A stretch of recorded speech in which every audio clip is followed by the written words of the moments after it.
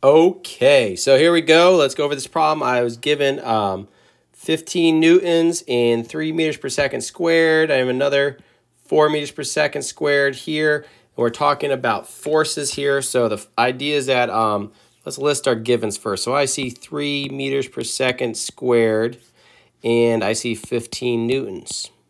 All right, newtons is the units for force. Meters per second squared, that's the units for acceleration and it's asking for mass.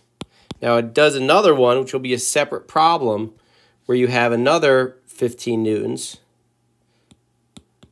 which is going to be force still, and you are given uh, 4 meters per second squared, still acceleration, and you're given mass for that, that you're looking for. Oh, I don't know what I just did there. That's a question mark. Try that again. Okay? All right, so the equation for both is F equals MA. All right, and if we have that, we need to solve for um, mass. So I shouldn't have written on the side like that, but sorry. I'm going to divide both sides by A.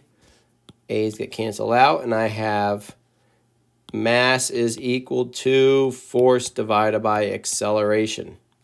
So I have my mass is going to be, I'm sorry, my force is going to be 15.